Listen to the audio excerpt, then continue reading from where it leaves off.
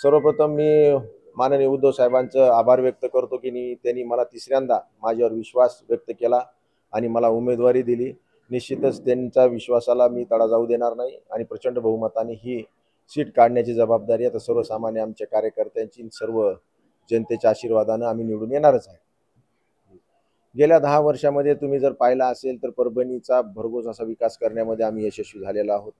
ग्रामीण भागामध्ये दळणवळणाचे रस्ते असतील किंवा मराठवाड्यात सगळ्यात जास्त बंधारे कुठं निर्माण झाले असतील तर परभणी विधानसभेमध्ये झालेले आहेत. जवळपास दीडशे बंधाऱ्याचं काम आजपर्यंत पूर्ण झालेलं आहे. एक नाही तर दोन दोन मेडिकल कॉलेजेस परभणीमध्ये सुरू झालेले आहेत.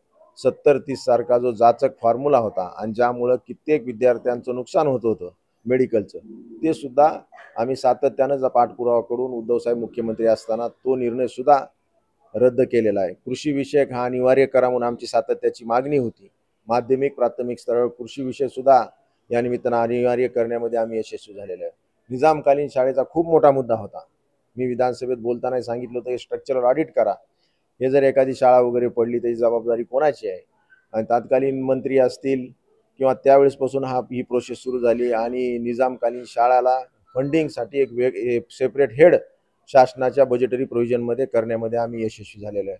अशा प्रकारच्या भरघोस अशा योजना यामध्ये आम्ही आणण्यामध्ये यशस्वी झालेलो आहे. परभणीमध्ये बसपोर्ट असेल सायन्स पार्क असेल परभणीचे लायब्ररी असेल किंवा होणारं नाट्यगृह असेल किंवा होणारी आमची जयभवानी महिला सहकारी सुतगिरणी असेल अशा अनेक गोष्टी गेल्या दहा वर्षामध्ये परभणी शहरामध्ये आम्ही केलेल्या आहेत. तुम्ही पाहिलं असेल जागोजागी जवळपास पंचेचाळीस ओपन जिमचं काम सुद्धा आम्ही केलेलं आहे.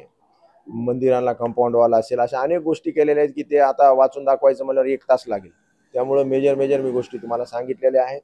आणि निश्चितच हे सरकार आता या सरकारला ढकलण्यासाठी कोणाची गरज नाही.